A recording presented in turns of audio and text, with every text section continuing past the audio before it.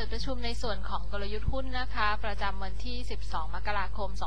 2555 นะคะ แนวโน้มตลาดวันนี้เรามองว่าน่าจะขยับไปไหนไม่ค่อยไกลนะคะ เรามองกรอบเทรดวันนี้ที่ 1,044 ถึง 1,058 จุดนะคะ โดยเรามองว่านักลงทุนส่วนใหญ่เนี่ยในช่วงนี้ยังคงเทรดหุ้นบนความระมัดระวังค่อนข้างมากนะคะ ในขณะที่ปัจจัยแวดล้อมตลาดต่างๆเนี่ยดูเหมือนจะไม่ได้มีอะไรใหม่เข้ามานะคะ ปัจจัย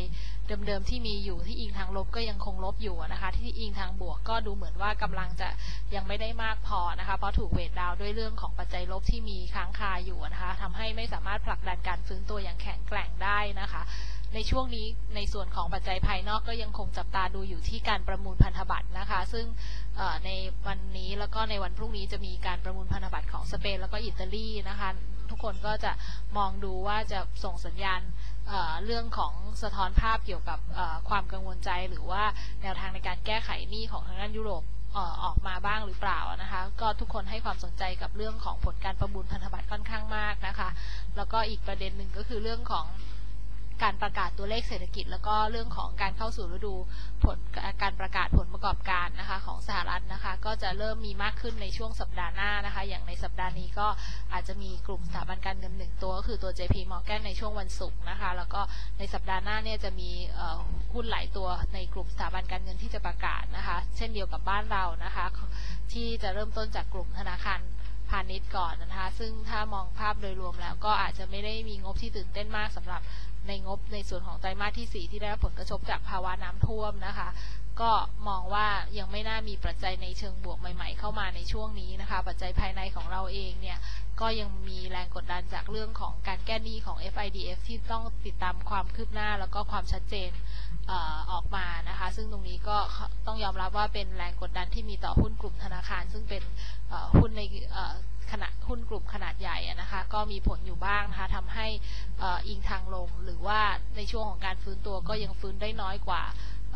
ตัวอื่นนะคะ ก็มองว่าน่าจะเป็นแรงกดดันในตลาดหุ้นไทยต่อไปจนกว่าจะมีความชัดเจนที่มากขึ้นนะคะ ภาพโดยรวมของตลาดก็เหมือนกับยังขาดปัจจัยใหม่เข้ามากระตุ้นนะคะ ในช่วงนี้สัญญาณทางเทคนิคในระยะสั้นก็ถือว่าส่งสัญญาณเตือนออกมาเกี่ยวกับการพักฐานของดัชนี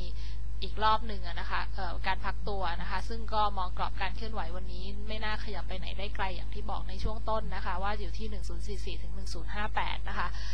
กลยุทธ์การลงทุนในระยะสั้นเนี่ยก็อาจจะต้องอ selective หุ้นมากขึ้นนะคะ ยังคงเน้นเรื่องของการtrading แบบขึ้นขายลงซื้อต่อไปโดยจำกัด port ที่ 50%ไว้ก่อนนะคะ ซึ่งข่าวในระยะสั้นที่เข้ามาเนี่ยสำหรับ หุ้นในหลาย sector หรือรายกลุ่มเนี่ยก็อาจจะมีวันนี้มีข่าวเรื่องของ EU กระทรวงพาณิชย์เผยเรื่องของ EU ที่จะมีแนวโน้มให้นำเข้าเนื้อไก่สดนะคะ ที่มีรายละเอียดไปแล้วในส่วนของพื้นฐานก็น่าจะเป็นบวกในหุ้นกลุ่มไก่นะคะ CPF GFPT อะไรพวกนั้นนะคะ แล้วก็ในแง่ของอตัว ICT เองก็มีข่าวเรื่องความคืบหน้าเกี่ยวกับการเตรียมเดินหน้าทำประชาพิจารณ์แผนแม่บท สามแผนนะคะในวันที่ 10 กุมภาพันธ์นี้นะคะ ก็จะเป็นความหวังเพิ่มเข้ามาสำหรับความคืบหน้าของเออเรื่องของการประมูล 3G ในระยะต่อไปนะคะ ก็น่าจะเป็นบวกกับตัว sector ICT นะคะหุ้นที่อยู่ใน port ของเรานะคะ เราคงตัว IVL AIT GFPT แล้วก็เหมราชเอาไว้นะคะ วันนี้ปรับออกไปหนึ่งตัวคือสมบูรณ์ Advanced Technology นะคะ แล้วก็ที่ปรับเข้ามา trading ตามข่าวก็คือตัว D d t a c นะคะ